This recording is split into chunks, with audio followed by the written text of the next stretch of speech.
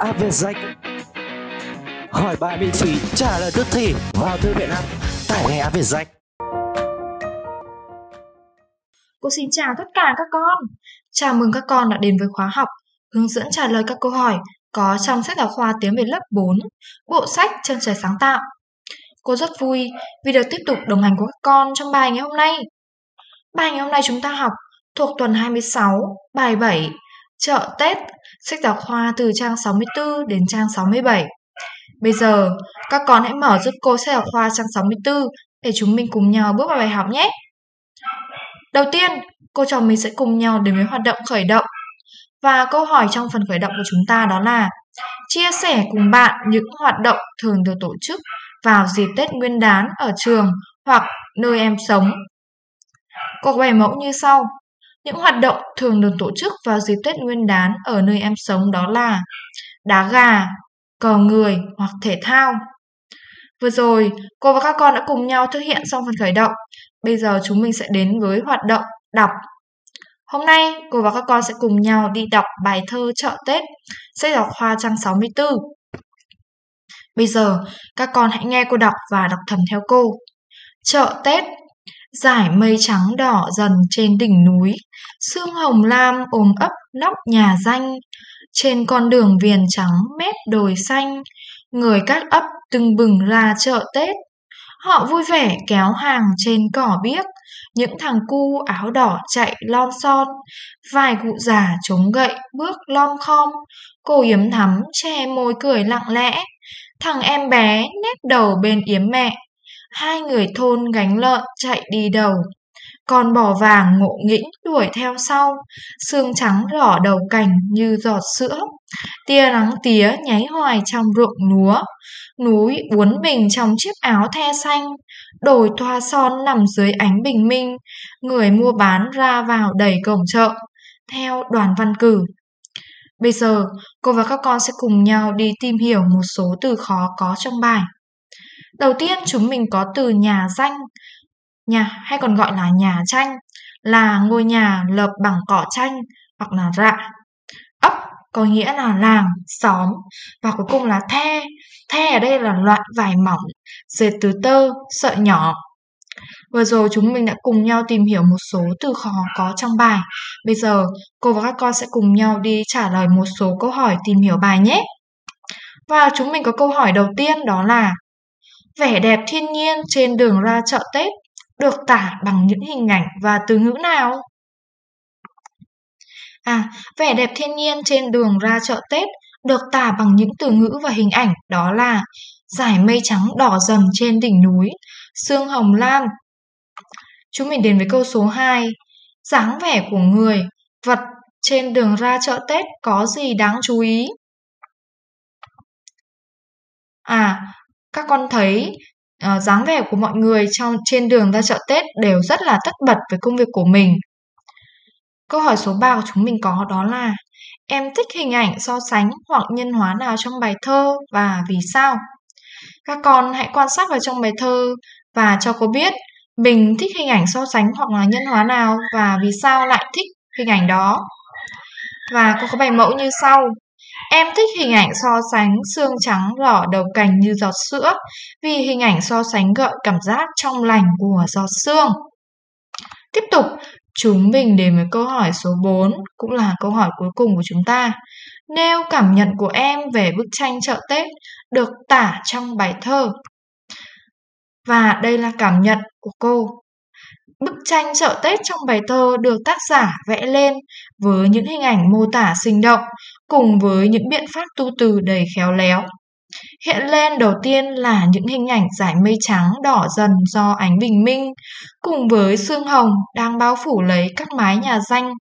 Hình ảnh con người đi ra chợ Tết được miêu tả vô cùng sinh động với những hoạt động bán hàng, sự tinh nghịch của các chú bé, dáng lom khom của các cụ già. Tác giả kết thúc bức tranh khi bầu trời đã sáng hơn, chợ Tết đã diễn ra vô cùng tấp nập Tiếp tục, cô và các con sẽ cùng nhau đi đến với hoạt động đọc mở rộng sách giáo khoa trang 65. Và hôm nay, chúng mình sẽ đọc mở rộng về chủ đề sinh hoạt câu lạc bộ đọc sách.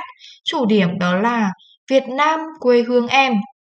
Yêu cầu đầu tiên của các con đó là tìm đọc một bài văn viết về cuộc sống, sinh hoạt của con người hoặc là vẻ đẹp của quê hương đất nước. Và cô đã tìm được một bài văn mẫu như sau. Là con người Việt Nam, em cảm thấy rất tự hào về quê hương đất nước của mình. Việt Nam là những câu dân ca, con người cần cù chăm chỉ, chịu thương, chịu khó. Không chỉ con người thiên nhiên, đất trời vẻ đẹp hiếm có. Núi cao hùng vĩ là biểu tượng của sức mạnh nhân dân Việt Nam. Không thể thiếu đó là cánh đồng lúa bắt ngát nhờ đôi bàn tay khéo léo của người dân Việt. Những dòng sông buổi chiều hạ, chiều thu lặng lẽ ngược dòng trôi. Nhắc đến quê hương của mình, không thể thiếu những lũy tre làng đầu đỉnh. Tre là biểu tượng sức mạnh, đoàn kết của nhân dân Việt Nam.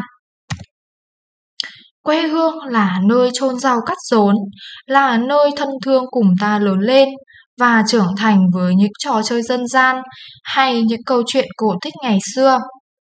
Ai về Phú Thọ cùng ta, vui ngày dỗ tổ tháng 3 mồng 10, dù đi ngược về xuôi, nhớ ngày dỗ tổ mùng 10 tháng 3. Bạch Đằng Giang là sông cửa ải, Tống Hà Nam là bại chiến trường. Ai về hậu lộc Phú Điền, nhớ đâu bà Triệu, trận tiền sung phong. Còn rất nhiều những câu ca dao hay nói về đức tính tinh thần của người dân Việt Nam. Quê hương em còn có Chủ tịch Hồ Chí Minh, người được nhân dân muôn vàn kính yêu, cả đời ghi nhớ công lao không bao giờ quên. Vẻ đẹp non sông đất nước quê hương em có đóa sen hồng nở trong đầm bùn, nhưng nó không bao giờ hôi tanh mà nó còn mang thêm một vẻ đẹp kỳ diệu của người con gái mặc tà áo dài ngồi bên những khóm hoa sen. Những cảnh tượng ấy khiến em không thể nào quên, kể cả khi đi đâu. Cha mẹ dạy, lớn lên đừng quên quê hương của mình. Hãy tự hào vì mình là con người Việt Nam. Hãy tự hào rằng quê hương của mình là một đất nước kiên cường. Em yêu quê hương đất nước và cả những con người Việt Nam. Em tự hào vì mình là một công nhân của Việt Nam. Tiếp tục yêu cầu của thứ hai của chúng các con đó là ghi những chi tiết quan trọng trong bài văn vào trong nhật ký. Và những chi tiết trong quan trọng trong bài văn của cô đó là Việt Nam là những câu dân ca, con người cần cù, chăm chỉ, chịu thương, chịu khó. Núi cao hùng vĩ là biểu tượng của sức mạnh nhân dân Việt Nam. Không thể thiếu đó là cánh đồng lúa bát ngát nhờ đôi bàn tay khéo léo của người dân Việt. Tiếp theo đó là những dòng sông buổi chiều hạ, chiều thu lặng lẽ ngược dòng trôi. Tiếp theo là nhắc đến quê hương mình, không thể thiếu những lụy che làng đầu đỉnh. Và cuối cùng đó là tre là biểu tượng của sức mạnh, đoàn kết của nhân dân Việt Nam. Yêu cầu thứ ba của các con đó là cùng bạn chia sẻ bài văn mà mình đã đọc hoặc là nhật ký đọc sách. Và cuối cùng đó là thi hướng dẫn nhí giới thiệu và chia sẻ với bạn những điều em biết thêm về đất nước, con người Việt Nam sau khi đọc bài văn. Vừa rồi, cô và các con đã cùng nhau thực hiện xong phần đọc mở rộng. Bây giờ, chúng mình sẽ cùng nhau đến với hoạt động luyện từ và câu sách giáo khoa trang 66-67. Hôm nay chúng mình sẽ cùng nhau đi uh, tìm hiểu về dấu gạch ngang. Và câu hỏi đầu tiên của chúng ta có trong phần luyện từ và câu đó là Đọc các đoạn văn, câu văn sau và thực hiện yêu cầu. Bên dưới cô có hai đoạn văn. Các con hãy đọc hai đoạn văn và thực hiện cho cô hai yêu cầu sau. Yêu cầu đầu tiên đó là tìm dấu gạch ngang trong mỗi đoạn văn, câu văn. Yêu cầu thứ hai là theo em, vì sao cần dùng dấu gạch ngang trong mỗi trường hợp? Và cô có bài mẫu như sau. Câu A thì các con hãy tìm những dấu gạch ngang trong đoạn văn và câu văn. Câu B. Trong trường hợp A thì dấu gạch ngang có vai trò làm đầu mục liệt kê. Thứ hai là trong trường hợp B, dấu gạch ngang có vai trò làm cụm liên danh. Tiếp tục, chúng mình đến với câu hỏi số 2. Có thể thêm dấu gạch ngang vào những vị trí nào trong mỗi đoạn văn và câu văn sau? Bên dưới có có đoạn văn A và câu văn B. Các con hãy suy nghĩ để cho cô biết chúng mình có thể thêm dấu gạch ngang nào vào vị trí nào trong mỗi đoạn văn và câu văn trên nhỉ? Và câu có bài mẫu như sau. Để tích ở đoạn văn A thì cô đã thêm những dấu gạch ngang vào đầu dòng của các câu đó là mở vòi nước vừa phải, lấy nước vừa đủ dùng, khóa vòi ngay sau khi sử dụng xong, tái sử dụng nước hợp lý và kêu gọi mọi người cùng thực hiện. Ở câu B, cô thêm dấu gạch ngang vào chỗ ba địa điểm Hà Nội, Huế và thành phố Hồ Chí Minh. Tiếp tục chúng mình đến với bài 3. Thay bông hoa bằng tên các bài học để hoàn chỉnh đoạn văn sau. Bên dưới, câu cô có đó là ở chủ điểm Việt Nam quê hương em, em đã học được các bài đọc. Đầu tiên là sự tích bánh trưng bánh dày. Các con hãy suy nghĩ và điền các tên bài đọc thay vào mỗi chỗ trống tương ứng với mỗi bông hoa nhé. Và cô có bài mẫu như sau. Ở chủ điểm Việt Nam quê hương em, em đã được học các bài hạt học. Đó là sự tích bánh trưng, bánh dày, độc đáo tháp chăm, dòng sông mặc áo, buổi sáng ở hòn gai, hoa cúc áo, một kỳ quan thế giới và chợ Tết. Tiếp tục, chúng mình sẽ cùng nhau đến với hoạt động viết sách giáo khoa trang 67. Hôm nay, chúng mình sẽ cùng nhau đi trả bài văn miêu tả cây cối. Chúng mình có đề bài đó là viết bài văn tả một cây hoa mà em thích.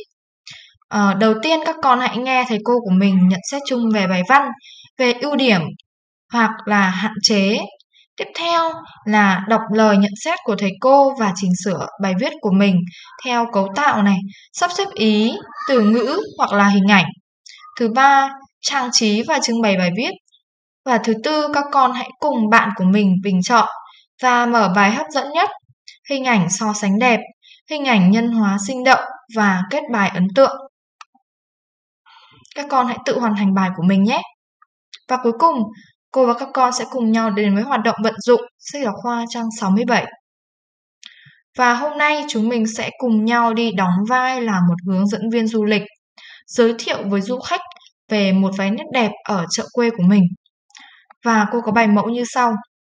Chợ quê luôn là một nét đẹp trong văn hóa của làng quê Việt và nó được hình thành từ lâu đời. Chợ quê thường nằm ở đầu mỗi làng, xã hoặc là nơi giao nhau của các làng, xã.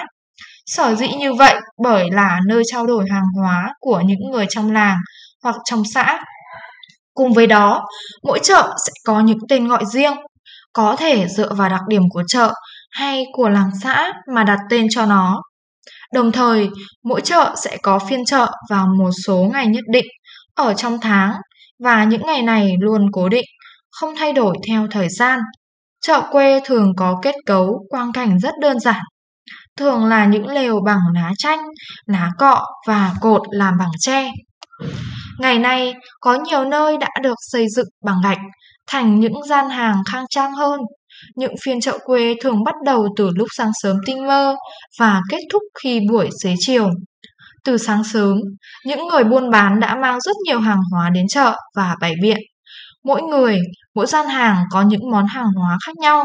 Ngay từ cổng chợ, người ta đã nghe thấy âm thanh náo nhiệt, ồn ào, tấp nập kẻ mua người bán, người mời hàng, người trả giá và còn có cả tiếng trò chuyện vui vẻ của những cô, những bác đi chợ. Thêm vào đó còn có những em bé đi theo mẹ đi chơi, vừa đi vừa ngắm nhìn khung cảnh xung quanh. Những phiên chợ quê luôn bày bán rất nhiều những món hàng. Từ đầu chợ đã nghe thấy mùi thơm của những gánh phở, mùi hương của những loại bánh như bánh gạo tẻ, bánh bao, bánh trưng. Không dừng lại ở đó, chợ còn là nơi bày bán những nhu yếu phẩm thiết yếu hàng ngày cho mọi người như là rau củ, thịt, cá, các loại hoa quả, các loại gạo. Có lẽ những gian hàng này luôn là nơi được nhiều người quan tâm nhất. Vì vậy, lúc nào cũng đông đúc, nhộn nhịp. Thêm vào đó, ở chợ, người ta còn bày bán các loại quần áo, giày dép, mũ nón để mọi người có thể ghé lựa chọn và mua. Những phiên chợ quê bao giờ cũng vậy, luôn đầy đủ mọi món đồ và là niềm mong ước của những đứa trẻ những phiên chợ quê đã trở thành một phần không thể thiếu trong đời sống của con người Việt Nam nói chung và ở những làng quê nói riêng.